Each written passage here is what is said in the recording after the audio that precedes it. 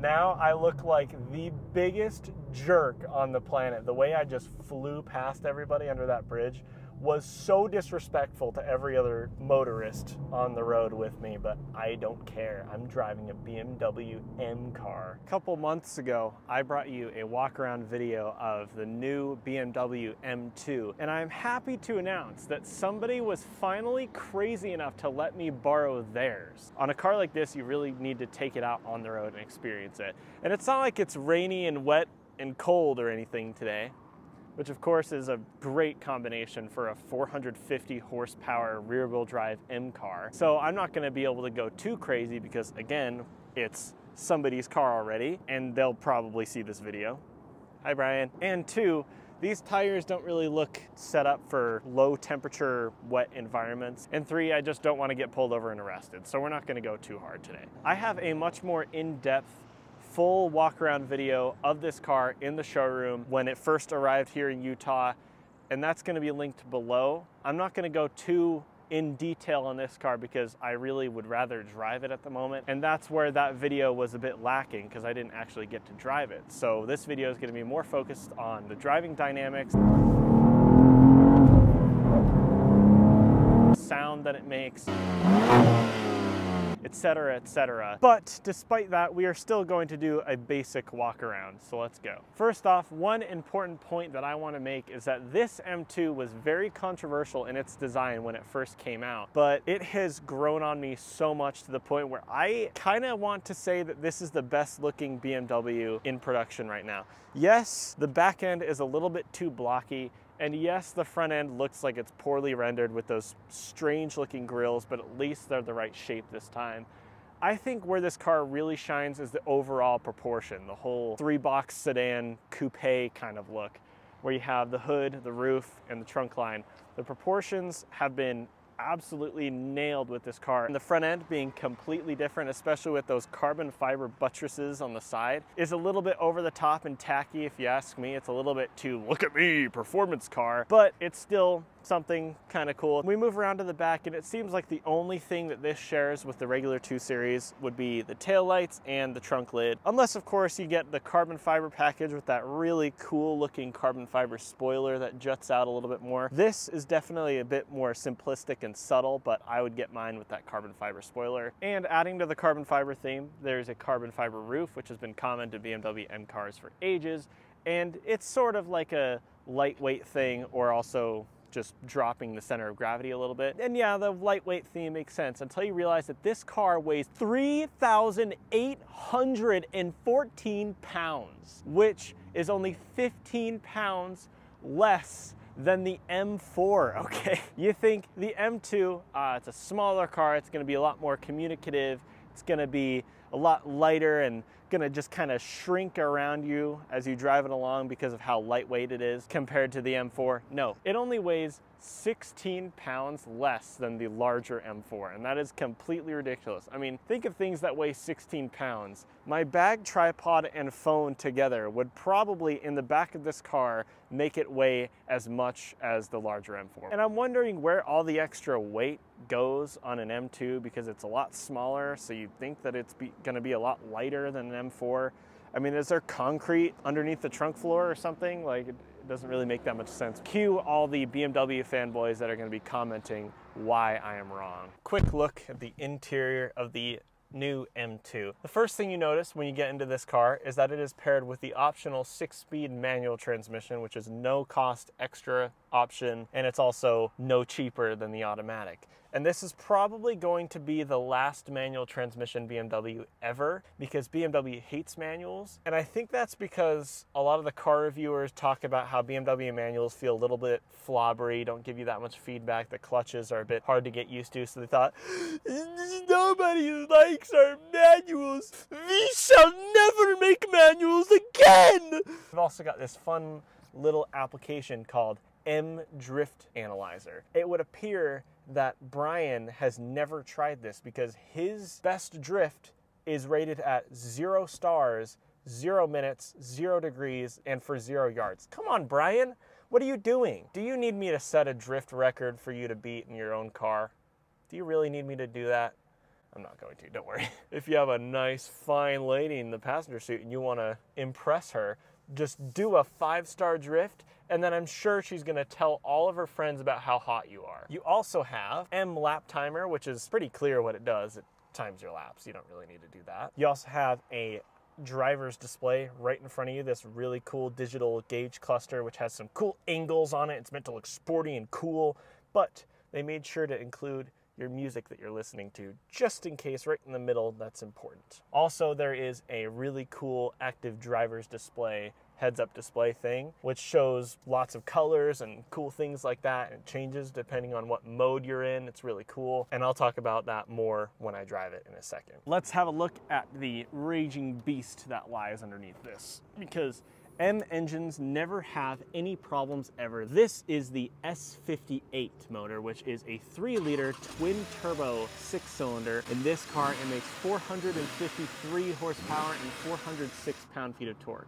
which is around 20 less than in the M4 but it makes the exact same torque as the M4. There's versions of this engine that have way over 500 horsepower, like the M4 CSL has 550 horsepower. So I imagine this engine is pretty easy to tinker with and get a lot more power out of. But in this car right now, 453 horsepower, and it's made into that six-speed manual. So let's start that drive.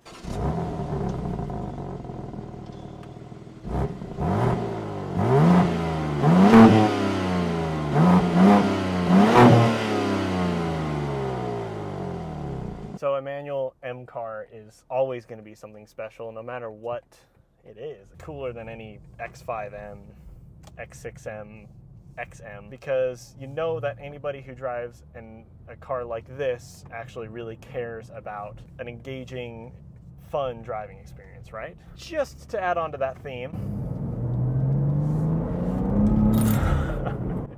yeah, she, it struggles a bit when it comes to uh, grip on the rear end uh, on a cold, rainy day like today. Let's just say that. And I just, I think I just lost Brian's keys under the seat when I did that.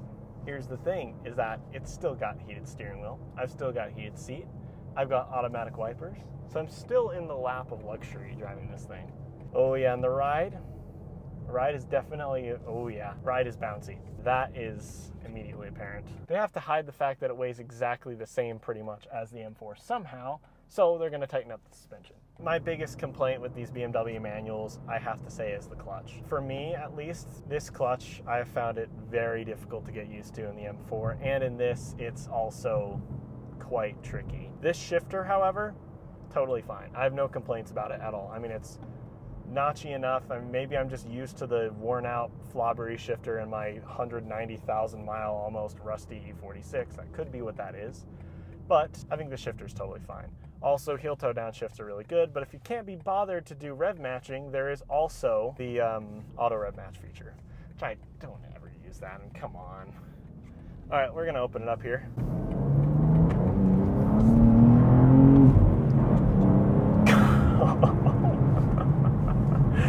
Thing is a complete riot. wow. I had traction control on there and it was flashing at me like, Nine, what are you doing? Calm down. Wasn't really doing enough. I could still feel the back end of the car trying to step away from me, but I'm a real good driver. I know what I'm doing, right?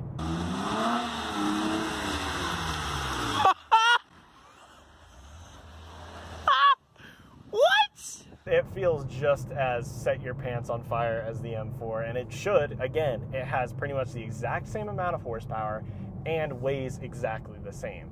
So where this car really should actually shine is in handling and things like that. But in terms of how it's driving just in a straight line, this thing is hilarious. I mean, there's so many different ways to configure this car. It's unbelievable. It would take all day for me to go through every possible configuration. There's your engine power. You have three settings for that. There's three settings for the suspension, two settings for the steering, and two settings for the brakes. It's I think it's a brake-by-wire system. BMW invented drive-by-wire the throttle, electronic throttle thing, and when that had a problem, it would go into limp home mode so it had like basically no throttle response and was slow as an absolute dog. This car, I kind of hope that it doesn't have like a limp home mode for the brakes.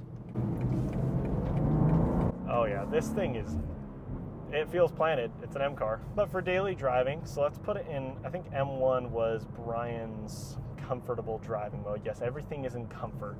It still is a little bit too bouncy, but I mean, who gets into an M2 expecting it to have a ride like pillows on dream clouds? It's just not going to happen. I need to figure out how to put it into more sporty driving mode without crashing.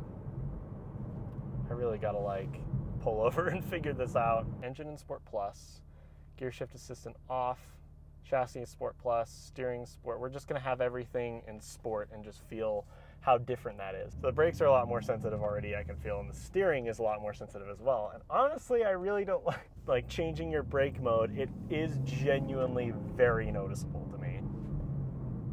I just say I just don't like this clutch at all. Jesus. I just hate this clutch. I find it so difficult to drive this car smoothly. I feel like I should be enjoying the manual more in this car, but I'm not because this clutch is driving me crazy. Now I'm at a traffic light behind an Elantra N. This dude thinks he has a performance car, and I don't think he does at all. And when you have everything in Sport Plus mode, you get a little shift light in your heads-up display as well. That's actually useful if you're driving it on the track and you want to know how close you are to the red line and you really want to go at it. I mean, that's just, they really did think of everything. I don't find it when I'm trying to drive it regularly in the rain like this that it's flashing traction control at me constantly, which is good. That means it's better putting down its power.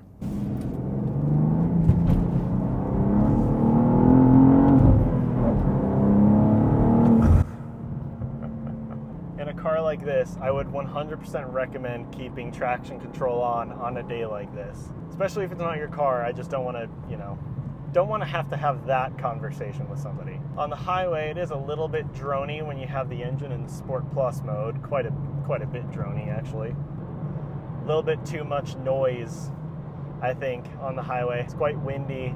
I am finding myself having to yell a little bit on the highway. Oh, and it's quite bouncy too. Not to say that this isn't a fantastic experience that I'm having. I am very much enjoying this car. Actively looking for things to complain about. That's my that's what I'm trying to do. And I'm coming up mostly short, but there are a couple things. So let's put it in sixth gear, 65 miles an hour, and just floor it. Just to feel the torque. Oh yeah. It takes a second, but once those turbos spool up, it pulls pretty hard and it's a really really gorgeous car. The looks have grown on me for sure. From when i first saw it in pictures i thought it was completely ridiculous over the top way too blocky and boxy on that rear and front bumper. But when you see one of these things in person the pictures don't do this car justice. It is absolutely beautiful looking especially that middle section with the flared wheel arches. It's just a fantastic looking car. And it's a fantastic driving car too. Again, at high speeds, when the revs are very low in sixth or fifth gear and you floor it, you really feel it just build up its boost and then it just starts flying. But around town, you don't feel that much turbo lag at all, which is good.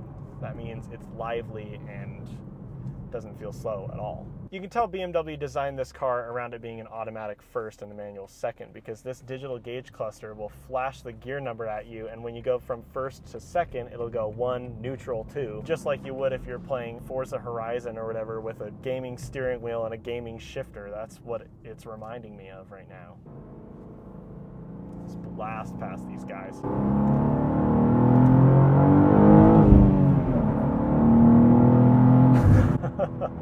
Wowie. Now I look like the biggest jerk on the planet. The way I just flew past everybody under that bridge was so disrespectful to every other motorist on the road with me, but I don't care. I'm driving a BMW M car. Everybody that I just flew past is now sitting around me, probably looking at me like this.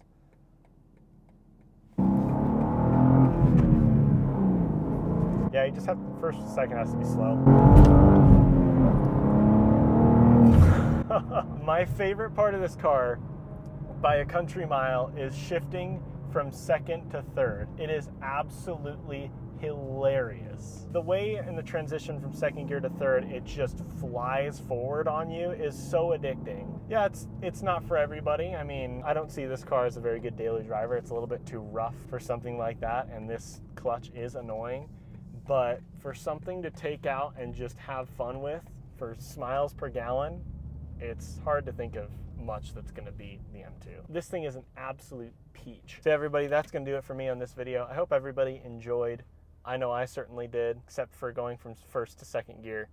But I'll stop complaining about that. I want to thank Brian from the bottom of my heart for letting me drive his M2. I haven't even met the guy yet. Thanks everybody for watching. Everybody have an awesome day. Bye bye.